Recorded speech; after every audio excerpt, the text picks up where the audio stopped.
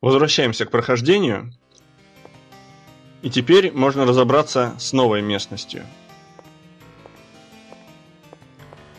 Конкретно в этой локации много интересного я не найду. Вот здесь снова выхожу к центральной башне. В таком углу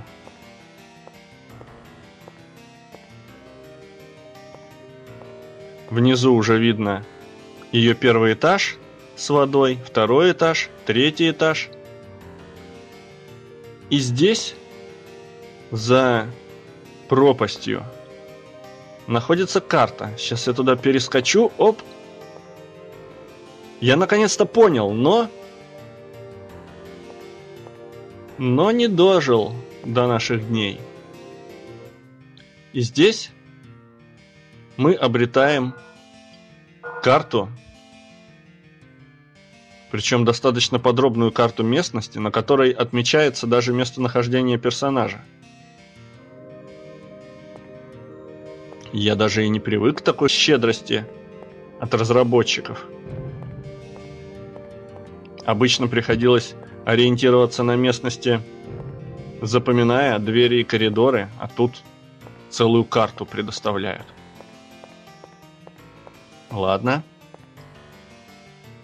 Ну и последняя интересная штука, которую я возьму, прежде чем отправиться на берег. Это вот этот фрукт.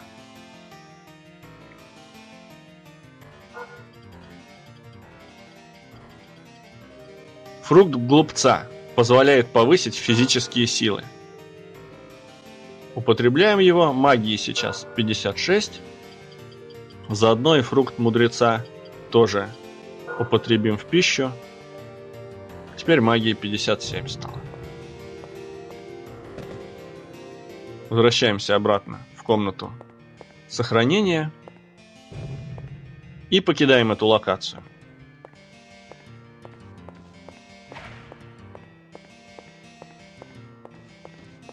Отправляемся на морской берег. С этой стороны еще один выход к центральной башне, но мост там не опущен. Поэтому в эту сторону мы не пойдем. А пойдем мы вот в эту сторону. Северный утес. Именно северный утес, как несложно догадаться, с севера от священного города, от центральной башни – отделяет город лесного народа от моря.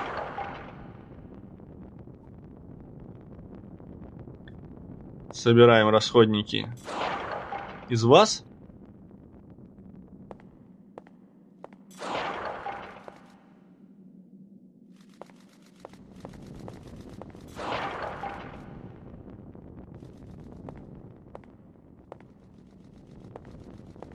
И переходим мост.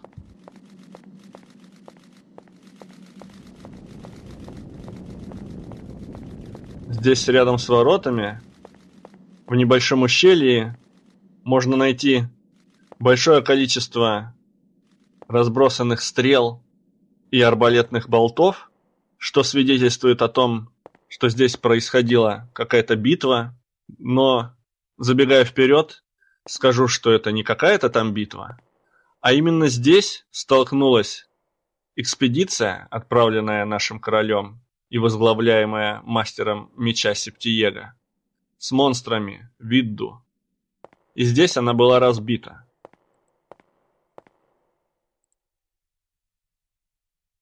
Похоже, я уже целую вечность никого не видел. Я член экспедиции Хиладин. На нас напали солдаты с головами змей. Если бы с нами не было Септиега, то мы бы все погибли. Мы прибыли сюда, чтобы вернуть идола и спасти нашу страну. Для меня большая честь сражаться вместе с мастером меча Септиега. Септьего позволил взять себя в плен, чтобы спасти всех остальных. Скорее всего, его доставили в тот дворец. Я хочу помочь Септьего, но я потерял мой меч. Когда Септьего покидал страну, король передал ему меч. Наверное, тот меч рассеивал силы тьмы. Где мой меч? Сокрушается Кайл Кэмпбелл. Именно так зовут этого одинокого рыцаря, сидящего здесь с боевым стягом. У него нет больше меча, и он окутан депрессией.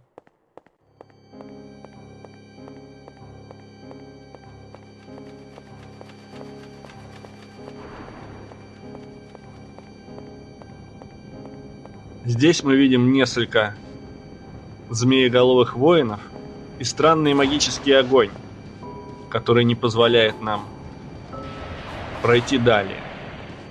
Что это за змееголовые воины? Давайте расскажу поподробнее. Это те самые солдаты, которые напали на членов экспедиции. Они принадлежат к неизвестной расе или племени, которого опасались даже монстры, живущие в городе. В древнем городе обитало много монстров, однако среди них больше всего боялись именно Видда. Говорят, что именно они уничтожили всех членов экспедиции.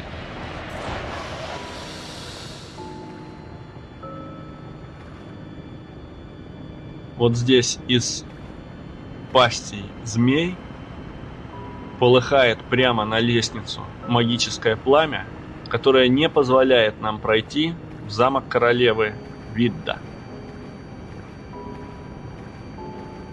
А там, вверху, на водопаде, внимательный игрок заметит кристалл, который я попытаюсь сбить луком Надеюсь, много стрел мне не понадобится. Но сделать это не просто, учитывая то, что нет никакого прицела в этой игре. Но у меня уже рука наметанная. Оп, со второго выстрела. Неплохой результат. Это очередной пустой кристалл. Ну что ж, используем его. Вдруг действительно делает он мою магию сильнее. Заодно и ману восполню. Экипирую обратно огненный меч вместе со щитом. И ставлю вспышку в качестве боевого заклинания. Потому что сейчас придется начать воевать с первыми противниками, которые выглядят очень странно. У них нет рук, зато есть ноги, хвост и голова с огромной пастью. Какие-то гипертрофированные головастики, я не знаю. На драконов это точно не похоже.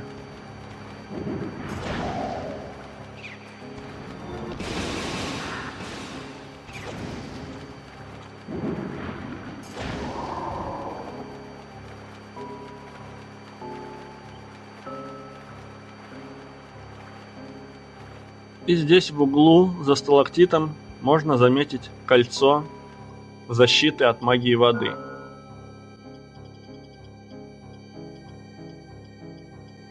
Кольцо воды. Магическое кольцо, защищающее от воды. Дает 20 единиц сопротивления магии воды, что придется очень кстати, потому что практически все монстры в этой локации атакуют помимо физического урона, еще и магией воды. Поэтому кольцо я экипировал сразу же. Преодолеть магическое пламя у нас нет никакой возможности. Поэтому продвигаемся дальше, в единственный свободный проход. Что у нас здесь? Здесь на небольшом уступе можно найти башенный щит. Осмотрим его поближе. Щит-башня. Высокий щит для защиты всего тела. Экипируем его сразу. И впереди можно заметить странную баррикаду. И если заглянуть внутрь, то можно увидеть здесь трех оставшихся членов экспедиции. Поговорим с Джошуа Гриффином. Я отправился на разведку, когда я вернулся, то вот что я увидел. Я никого не смог найти. Можешь взять это себе. И дает нам камень маяка. Впереди находится форт. Я видел надписи, указывающие путь который позволит проникнуть во дворец королевы. К сожалению, я не помню, что там было написано.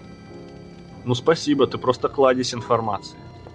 Поговорим со следующим членом экспедиции, которого зовут Джон Парк. Кто мы? Мы всего лишь солдаты, проигравшие войну. Ты не видел здесь рядом статуи змей? Это дворец королевы. Да, видел, из них идет магический огонь. Статуи змей не позволят входить в него, но монстры входят туда спокойно. Наш отряд разбит. На нас напали невероятно сильные монстры. Тебе не стоит ходить во дворец.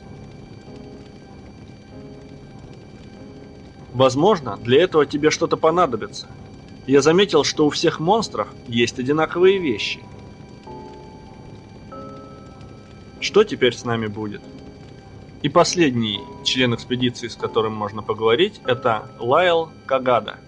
Я нашел эту еду. Если хочешь поесть, найди себе что-то сам.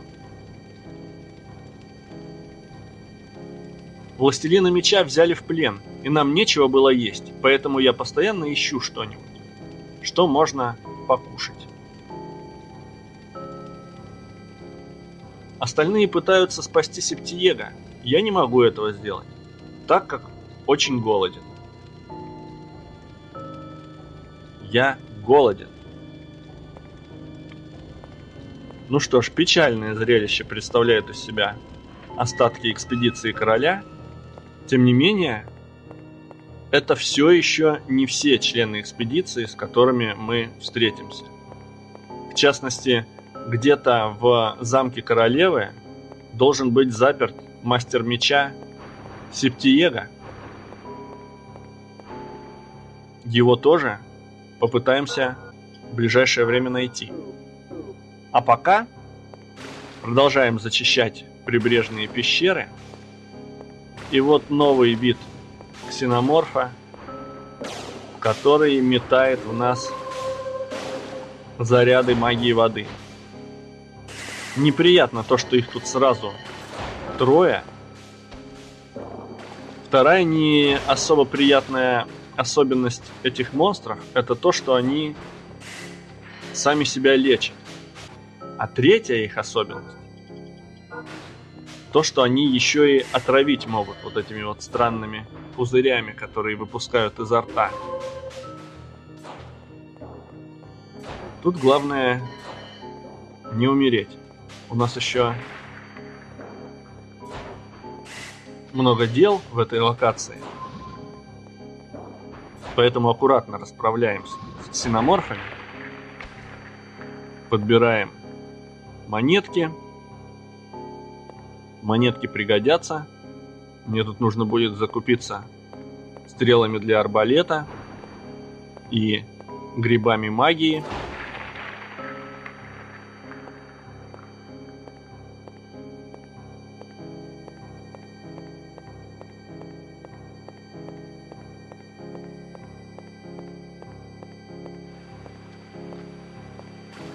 Так, здесь пентаграмма быстрого перемещения. В засаде сидит ксеноморф.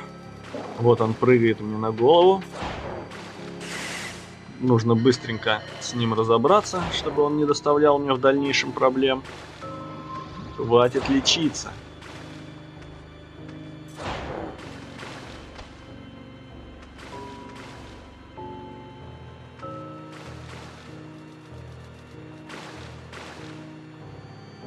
И время забраться на маяк.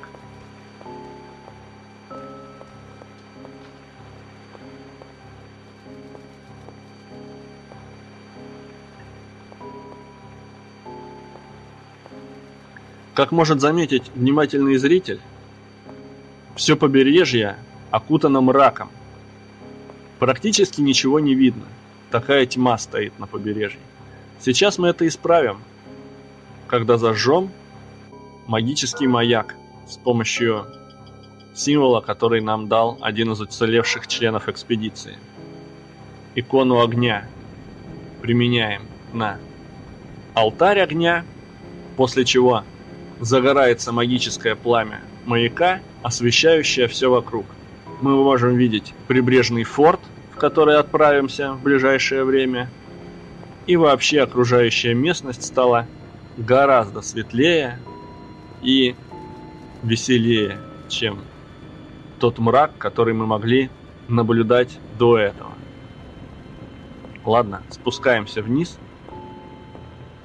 Внизу, рядом с камнем с гравировкой, нужно подобрать очень важный амулет, который позволит нам легко расправиться с одним из двух предстоящих боссов. Водный ксеноморф стреляет. И вот он, тот самый амулет. Сейчас покажу его поближе. Ожерелье воров. Ценимое ворами, это ожерелье позволяет стать практически невидимым. Надпись на плите. Да защитит пламя хранителя иконы.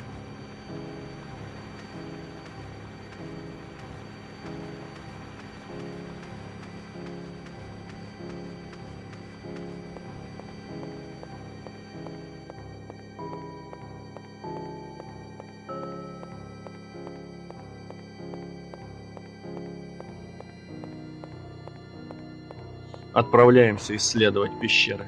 Далее...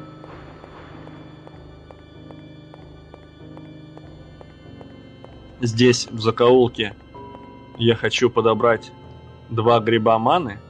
Надо только аккуратненько вынести этого головастика. Отлично получилось. Тут вот еще очень странный новый грибок, который накладывает временный паралайз. Ну ничего. С ним тоже справиться не составит труда. Забираем грибочки. И уносим ноги из этой комнаты.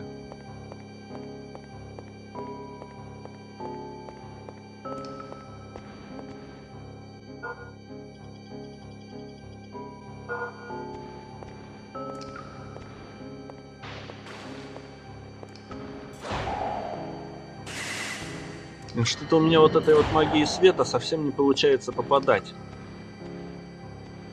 Ну ничего, научусь.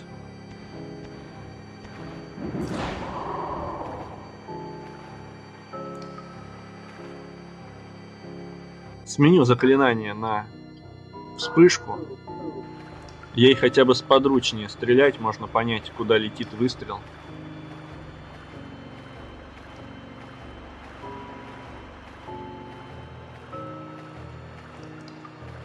Вода в пещере по колено не позволяет быстро перемещаться, и монстры пользуются своим преимуществом, бегают быстро, уровень поднялся, это хорошо. Уже тридцатый.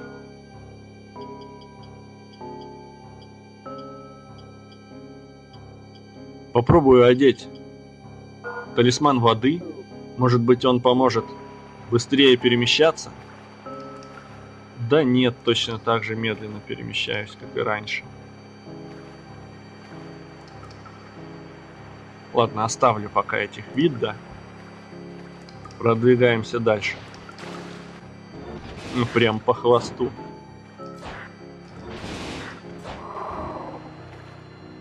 Да, вспышкой сподручнее сражаться вспышка мне нравится больше.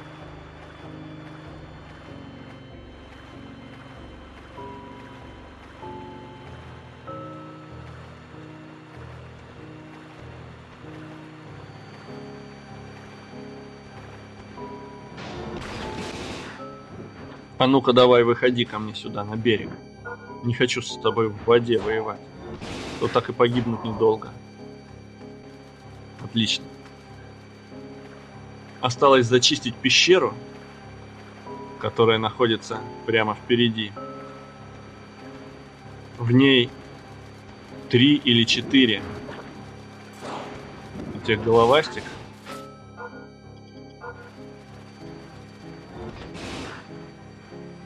Я буду выманивать их по одному, а на монтаже ускорю эту битву.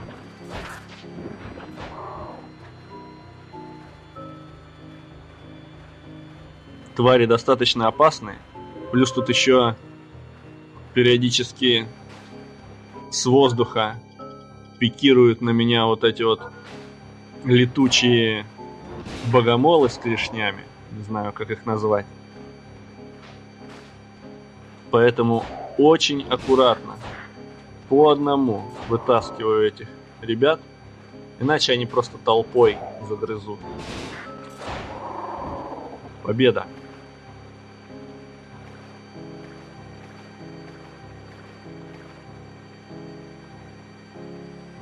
Находим новую шпагу.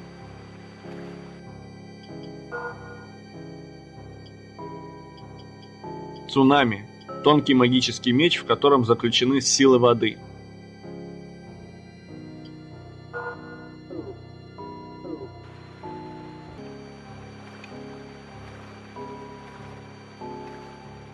И покидаем эту пещеру, направляясь прямиком к точке сохранения. В дальнейшем у нас есть два варианта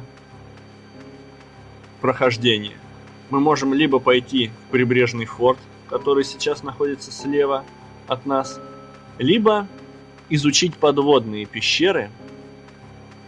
Не знаю даже, чем займемся в первую очередь.